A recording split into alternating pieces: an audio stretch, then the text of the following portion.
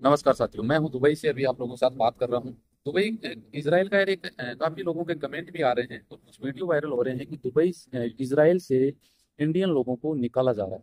आपने भी ये वीडियो देखे होंगे। तो मैं सोचा यार क्यों नहीं इस पे काफ़ी लोगों के कमेंट्स भी थे, व्हाट्सएप पे इंक्वायरी थी तो मैं सोचा इस पे बात कर लेते हैं कि क्या रियल में ऐसा ही हो रहा है? क्या इसराइल में इंडियन लोगों को वापस निकाला जा रहा है? वापस आने के कारण क्या हो सकते हैं? हो सकता है उनको काम नहीं मिला हो, जॉब नहीं मिला हो, इसलिए वापस निकाला जा रहा है। हो सकता है जो जॉब बताया वो नहीं मिला हो इसलिए वापस आ रहे हैं। हो सकता है कंपनी बताई वो नहीं मिली, इसलिए वापस आ रहे हैं। हो सकता है कंपनी खराब हो, इसलिए आना वापस आना पड़ रहा है। हो सकता है उनका वर्क परमिट वीज़ा नहीं मिला हो, इसलिए वापस आना पड़ रहा है। हो सकता है कंपनी ने कुछ गलती करी होगी, इसलिए वापस वो आ रहे हैं। हो सकता है उनको जो तनख्वाह बताई वो तनख्वाह नहीं मिल पा रही, इसलिए वापस आ रहे हैं। तो कुल मिला के ये सवाल आपके मन में आते होंगे, लेकिन क्या ये कारण है? इसकी वजह से ऐसे सुनने में आ रहा है कि यार भारतीय लोगों को वर्करों को कंपनी वापस निकाल रही है, लोग वापस आ रहे हैं। ऐसे वीडियो आपने देखे होंगे। इसका क्या कारण हो सकता है? आप कमेंट करके बताना। जबकि मैंने जो रिसर्च किया है, मैंने पता लगाया है। एक वीडियो आपको याद हो तो मैंने काफ़ी टाइम पहले, लगभग दो महीना हो गया वैसा मैंने एक वीडियो बनाया था। राजस्थान के कुछ लोगों को कंपनी ने निकाल दिया। इसके पीछे कारण क्या हो सकते हैं? देखिए, दारू पीना, हंगामा करना, बदमाशी करना, काम पे नहीं जाना पब्लिक प्लेस में गुंडागर्दी करना, ये कुछ कारण है। इन वजह से इंडियन लोगों को वापस आना पड़ रहा है।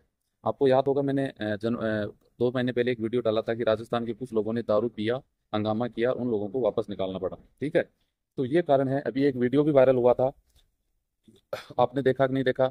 इंडियन लोग हैं, वहाँ पे बीच होता है भैया, वहाँ पे आपको पता है इसराइल यार यूरोपियन टाइप का कंट्री है तो वहाँ पे खुले में लड़कियाँ नहाना बीच पे जाना, है ना? तो ये नॉर्मल बात है तो उन्होंने कोई वीडियो बना लिया तो उनके साथ भी कुछ पंगा हुआ लड़कों ने वीडियो बना लिया और उनको पता लग गया कि हमारा वीडियो बनाया जा रहा है। तो आप हमेशा ध्यान रखना अब मैं दुबई में हूँ भाई साहब, मुझे, मैंने यार कानून पढ़ लिया, प्रॉब्लम ये है तो मुझे हर चीज़ में कानून दिखता है, यार ये करते हैं कि कानून में गलत हो रहा है। तो मैं पब्लिक प्लेस में वीडियो बनाने से बचता हूँ, मैंने इतना कोई वीडियो डाला नहीं है दुबई आके, आपने देखा होगा, आज मुझे सत्रह दिन हो चुके हैं। मुझे ये लगता है यार अब दुबई का कानून मैंने पढ़ा है, मैंने खुद ने वीडियो बनाया कि यार आप पब्लिक प्लेस में वीडियो नहीं बना सकते, किसी की बिना मर्ज़ी की फ़ोटो नहीं खींच सकते। अब मैं यहाँ पे बना रहा हूँ तो ठीक है आदमी है वहाँ भीड़ है तो चल जाता है, लेकिन किसी लड़कियों का, महिलाओं का वीडियो बनाना, डालना, वो भी इस्लामिक देश में। इसराइल में भी ये चीज़ अलाउ नहीं है भाई सी किसी, आप अपनी बहन बेटी है, वहाँ बीच में कहीं बैठी हो, आप समुद्र के किनारे और कोई वीडियो आपका बना के डाले तो आप उसको कितना सहन करोगे? ये एक बड़ा कारण है तो इनसे बचना चाहिए। सबसे बड़ा कारण है दारू।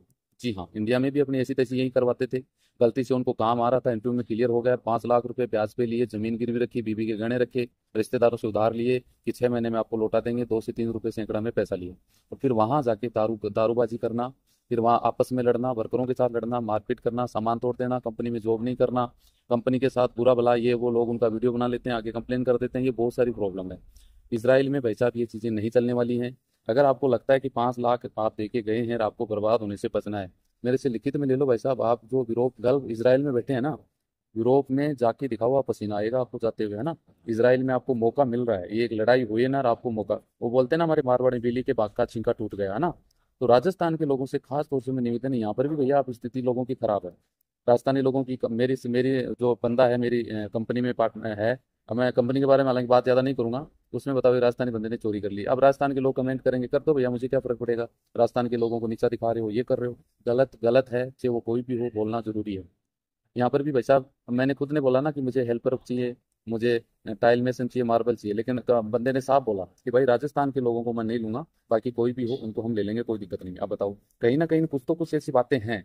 हालाँकि नो डाउट पूरे भारत में राजस्थान जैसे वर्कर नहीं है। राजस्थान जैसे मेसन कारीगर नहीं मिलेंगे। कंपनी में राजस्थानी वर्करों की मांग है, सब गलत नहीं है, लेकिन कुछ लोगों की गलत तो गलत की वजह से अंगुली तो उठेगी आपके परिवार में दस मेंबर है एक ने कुछ गलत किया तो पूरा परिवार कलंकित होगा नो डाउट आप इसको स्वीकार करें या न करें। अब राजस्थानी बंदे का अगर गलत किया तो ये क्या बोलते हैं? राजस्थानी बंदे थे। पूरा राजस्थान बदनाम हुआ ना? तो भाई साहब, आप कुछ सोचें यार, आपके साथ कोई ऐसा कर रहा है तो उसको बचाएँ, ऐसी गलती ना करें। हालाँकि कंपनियाँ निकालती नहीं है किसी को भी। आप गलत करोगे तो कंपनियाँ निकाल सकती हैं। तो इन चीज़ों से बचने की रिस्पॉन्सिबिलिटी आपकी है, न कि कंपनी की। बस ये कुछ अपडेट देना था। मिलते नेक्स्ट वीडियो में। चिदन करके साथ। जय हिंद, जय भारत।